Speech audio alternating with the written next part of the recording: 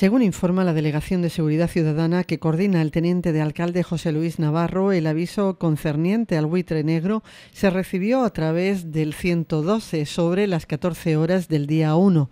El animal había caído en el patio trasero de una vivienda situada en la barriada de Torreguadiaro, cuyos ocupantes se habían percatado del hecho tras escuchar un extraño ruido.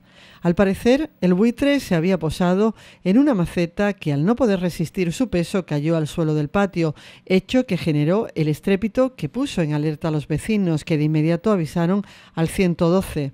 Al poco tiempo aparecieron tres agentes de la policía local que portaban una manta con la que consiguieron tapar la cabeza del animal para tranquilizarlo, no sin un forcejeo previo que provocó cierto desorden en el patio de la vivienda.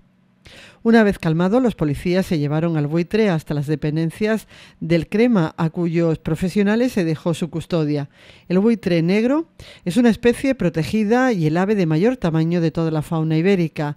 Es de carácter más bien solitario y rara vez emigra, algo que hacen más frecuentemente los jóvenes que abandonan el nido. En los años 60 llegó a ser un ave muy escasa en España, si bien en la actualidad la población se ha recuperado en gran medida, con más de 2.000 parejas. En cuanto al buitre leonado, la información sobre su localización en las inmediaciones del Toril llegó a la jefatura de la policía local sobre las 17 horas del mismo día de Todos los Santos. Según la información, el animal estaba poniendo en peligro la seguridad del tráfico. Agentes de la policía local y patrullas de la Guardia Civil se trasladaron a la zona, siendo los policías los que procedieron a su captura. El ave fue trasladado también a la crema de Algeciras.